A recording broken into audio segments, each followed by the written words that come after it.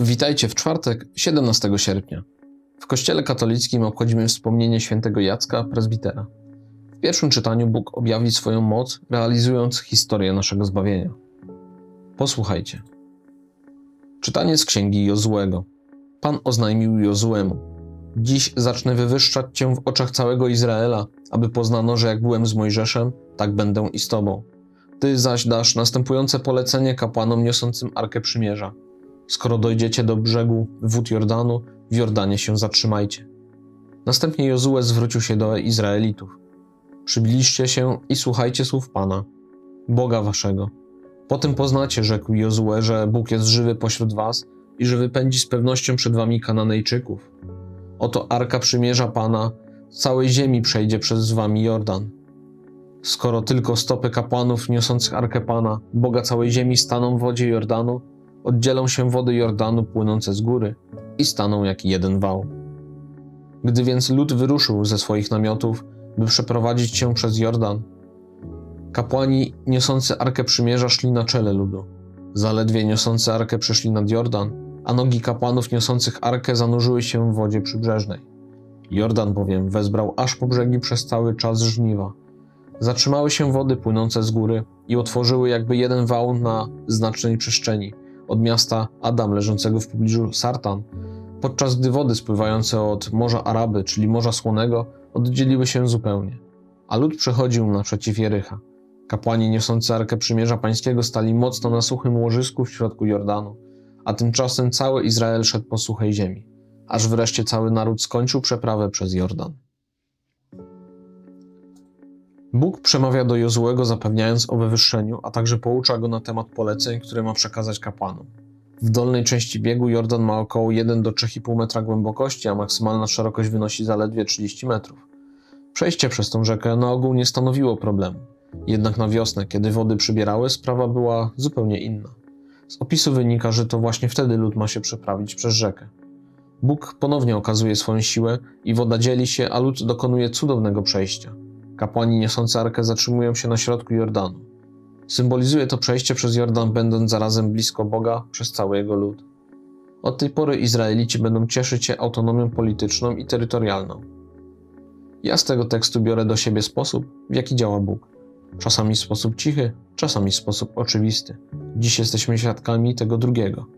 Ile jednak przegapiłem momentów, kiedy Bóg zapraszał mnie do przejścia Jordanu bez spektakularnej arki i rozstąpienia się wód? Przebaczyć komuś 77 razy. Brzmi jak abstrakcja. Bóg jednak dziś zaprasza nas do udziału w czymś niezwykłym. Wsłuchajmy się uważnie. Słowa Ewangelii według świętego Mateusza. Piotr podszedł do Jezusa i zapytał: Panie, ile razy mam przebaczyć, jeśli mój brat zawini względem mnie?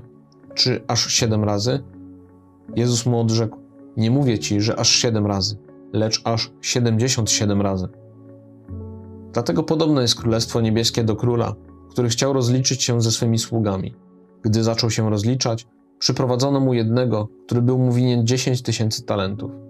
Ponieważ nie miał z czegoś ich oddać, pan kazał sprzedać go razem z żoną, dziećmi i całym jego mieniem, aby dług w ten sposób odzyskać. Wtedy sługa padł mu do stóp i prosił: Panie, okaż mi cierpliwość, a wszystko ci oddam. Pan ulitował się nad owym sługą, uwolnił go i dług mu darował. Lecz gdy ów sługa wyszedł, spotkał jednego ze współsług, który mu był winien sto denarów. Chwycił go i zaczął dusić, mówiąc: Oddaj coś winien. Jego współsługa padł przed nim i prosił go: Okaż mi cierpliwość, a oddam tobie. On jednak nie chciał, lecz poszedł i wtrącił go do więzienia, dopóki nie odda długu. Współsłudzy jego, widząc co się działo, bardzo się zasmucili. Poszli i opowiedzieli swemu panu wszystko, co zaszło. Wtedy pan jego, Wezwawszy go, rzekł mu: Sługo niegodziwy, darowałem ci ten cały dług, ponieważ mnie prosiłeś. Czyż więc i ty nie powinieneś był ulitować nad swoim współsługą, jak ja ulitowałem się nad tobą? I uniósłszy się gniewem, Pan jego kazał wydać go katom, dopóki mu nie odda całego długu. Podobnie uczyni wam Ojciec mój niebieski, jeżeli każdy z was nie przebaczy z serca swojemu bratu. Gdy Jezus dokończył tych mów, opuścił Galileę i przeniósł się w granice Judei za Jordan. Wczoraj analizowaliśmy tekst, który dotyczył bardziej duszpasterskiej posługi. Dziś z kolei słyszeliśmy, co mamy zrobić, jeśli brat lub siostra zgrzeszy przeciw nam osobiście. W paraboli mówiącej o 77 razach przebaczenia nie chodzi o wysoką granicę, ale jej całkowity brak. Aby zilustrować swoje słowa, Jezus posługuje się przypowieścią o królu i niezdolnym do przebaczenia słudze.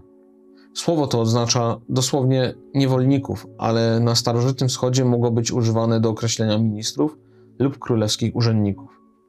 Ze względu na ogromną kwotę egzegeci są raczej jednomyślni i wskazują tą drugą opcję. Jeden talent jest wart 6000 denarów. Denar to zwyczajowa zapłata za dzień pracy.